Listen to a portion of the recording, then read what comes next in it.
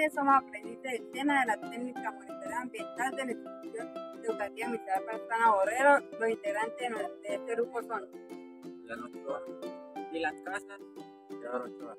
Y quien les habla es de González. Buenas tardes. El proyecto está titulado como Transformación de los residuos sólidos orgánicos generados en el restaurante escolar en humus utilizando lombriz roja californiana. El objetivo general de nuestro proyecto es transformar los residuos sólidos orgánicos generados en el restaurante escolar en humus a través de la lombriz roja californiana. Uno de los primeros pasos que realizamos en nuestro proyecto fue eh, la adecuación de la fosa de profundidad y tamaño de manera que la lombriz pueda descomponer todos los desechos orgánicos que sean traídos de la del comedor escolar. Uno de los pasos que realizamos para la cámara de lombriz fue lo siguiente. Proporcionamos un plástico para mantener la humedad de la lombriz y para que la lombriz no se escapara por tierra.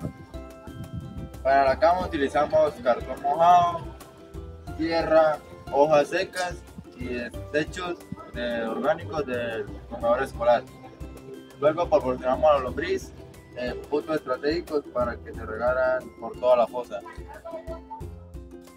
El cultivo de la lombriz es una herramienta más efectiva para la producción de abono llamado humus, que ayuda a los suelos infértiles para la producción agrícola de plantas, verduras, etc.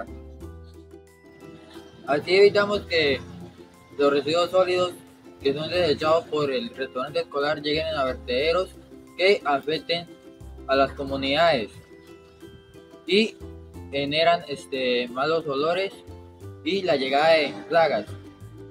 Al día de hoy, un mes de haber instalado la lombriz, esos son los resultados obtenidos actualmente.